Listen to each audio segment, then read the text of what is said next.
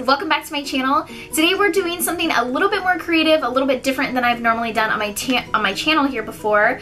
We are actually not going to be using eyeshadow palettes, we're just going to be using different face products for your eyes in case you end up like me one day and you get to your location in your hotel room and you by chance realize that you're like, oh my gosh, I have no eyeshadows. How am I going to do my makeup? I've got you covered. So before I waste any more of your time, let's just go ahead and get started. Okay, so I already put on my brows and went ahead and primed my lids as well. Um, but I kind of want to do something different today. I don't really want to work from a certain eyeshadow palette. I kind of just want to play with like my contour palettes and my blush palettes. So that's kind of what we're going to do today. I want to do something like um, peachy bronzy look. So we'll see how this goes. But to set my primer in place, I'm going to be using the light shade right here in the palette. Just so you guys know, this is the contour kit from Anastasia. It's my favorite. It's the powder one. So I'm going to be using the shade right here in the corner. I'm going to take that on a flat shadow brush and I'm just going to go over my eyeshadow. I don't really know what inspired me to not use a eyeshadow palette, but I kind of just wanted to do something different. I don't know, I, when I was looking through all of my palettes, I wasn't really inspired by anything, so I thought, what the heck, I'll just use all my face products for my eyes because I know that this has happened to not only me, but when I'm traveling and I literally forget to bring an eyeshadow palette, this is what ends up happening. I'm standing in my hotel room like, oh gosh, I don't have any shadow. So let me just create something based off of my face products. Once I have that applied, I'm to go into the shade right here. This is just this middle taupey contour shade. Just going to take that on a Morphe M433 crease brush. Just taking up a little bit of that, and I'm just going to be running this in from the outer edges through my crease. And I do kind of want it to be like a halo effect. So that means I'm going to be bringing it from the outer edge through the crease and also buffing it into the inner corner as well to get that halo shape. So I'm really just hugging my natural crease. And then once you have both eyes kind of balanced out, I'm to pop into the Makeup Revolution blush palette. I'm to be using this shade right here on the corner. It's this really nice warm tone peachy blush. I'm to be picking that up on another Morphe M433 brush. This is a different one. Tapping off the excess. And I'm to be running this just a little bit lower than where we just applied that contour shade just to bring a little little bit of color. I almost said little, like I, I have an accent. That probably doesn't even sound like it, but I notice when I'm editing, sometimes I'm like, why does it sound like I have an accent? Like, what person am I? But I'm really just kind of mimicking the same shape around my eye that we just did with that first color just to bring a little bit of color and not so brown contour shade. And then we're gonna go in with another shade for the center of the eye where the halo part is. Oh my gosh, you guys, I look so tired because I am so tired lately. I haven't been filming. As you can tell, I'm kind of getting behind again. And I'm just been like so tired. Like I'm waking up. I sleep pretty well, but for some reason I'm just getting, I just look way more tired than I normally ever do. I think maybe it's because I've also been eating a lot more healthy lately. And I think it's kind of like throwing my body for an adjustment. Like it's just, I don't know, I'm used to maybe running off of a little bit more sugar than what I'm currently eating. And then from here, I kind of want to play with this guy. This is the Au Revoir um, ColourPop, what do you call these? Luster Dust.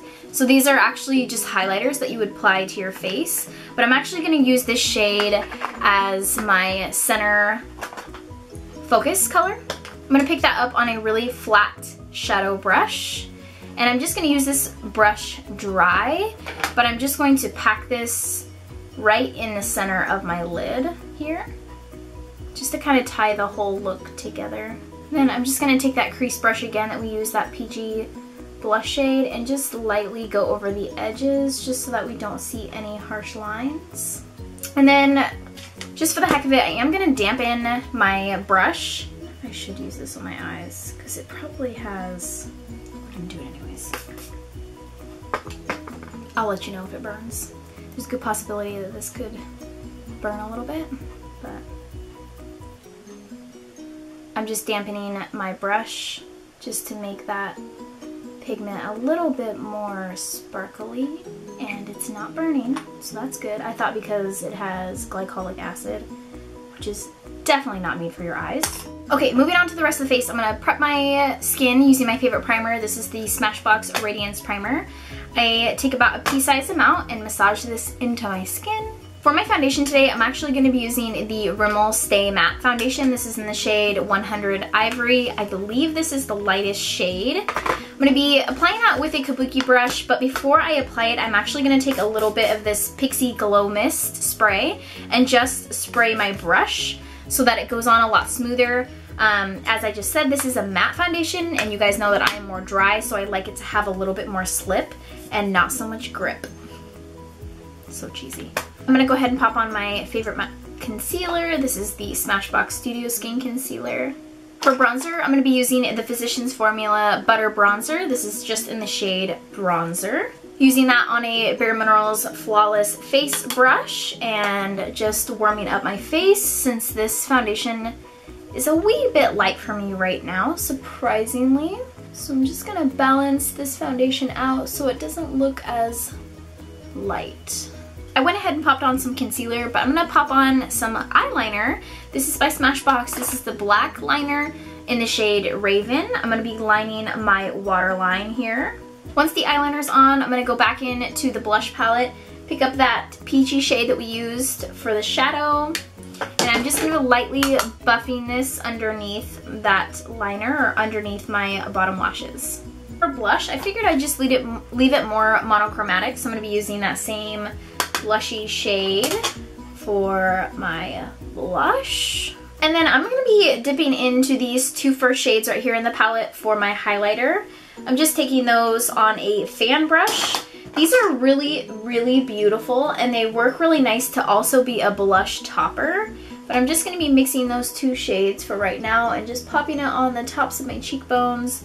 I don't really feel like today being too dramatic today, surprisingly. so I'm just gonna pop that right there and then a little bit on the tip of my nose and on my cupid's bow. And for my lipstick today, I'm really excited because I have a new lipstick. This is by the brand Flower Beauty. Um, I know that you can get this brand at Walmart and they just now are going to be sold inside of Ulta and I am so excited because I'd rather get it at Ulta to get points. So this is the shade here. It is a beautiful mauve nude rose shade. Figured it would pair perfectly for this look. And this is in the number 025 Warm Sand Matte. So this is the first time I haven't even swatched it. I don't know what it actually looks like, but it comes in this beautiful package. I love the rose gold packaging. This is really pretty with the white with this clear cap over top of it. So I'm going to be putting this on my lips. Mmm, super creamy. It doesn't have a smell. That lipstick honestly went on like a dream. Like, I really like this. I also have one more shade here. I'll show you guys what it looks like. I also bought this one right here. This is in the shade Flamingo Flirt 080. And these, this is the color here. I will swatch it for you. They go on super creamy and really pigmented. The nice thing that I can feel about it is even though it is obviously a matte lipstick, it's more like, it's way more creamy than most lipsticks that I usually wear. So I'm actually really impressed and I don't remember exactly how much these were. This is the other shade right here. So this is the shade that I have on right now, Warm Sand, and then this is the Flamingo Flirt but they go on really creamy. I'm really impressed. I might have to get a couple more. I'm waiting for them to come into Ulta though. I don't know if they're gonna be Ulta online only or what the deal is yet, but I've been trying to hunt them out, but I can't find them in Ulta yet, so we'll see how that goes when I see them there. And then to finish off the look, I'm just gonna go ahead and set my face using the Pixi Glow Tonic Mist here. And then I just like to fan it all in place that's it you guys. That completes this look. I really hope that you guys enjoyed. Let me know in the comments below what you'd like to see next. And until next time, I'll see you soon.